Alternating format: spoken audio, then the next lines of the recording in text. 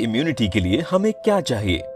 अच्छा खाना एक्सरसाइज और एक बैलेंस लाइफस्टाइल पर आजकल के माहौल में जहाँ हर चीज़ में मिलावट है और पोल्यूशन है, हमें चाहिए एक इफ़ेक्टिव हेल्थ सप्लीमेंट जो हमें हेल्दी रखने में मदद करे।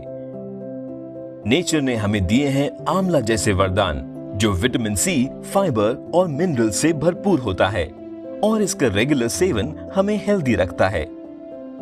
अब ये सारे गुण आप पा सकते हैं वेस्टेज आमला कैप्सूल्स में। आज ही खरीदें और एक अच्छे लाइफस्टाइल को अपनाएँ।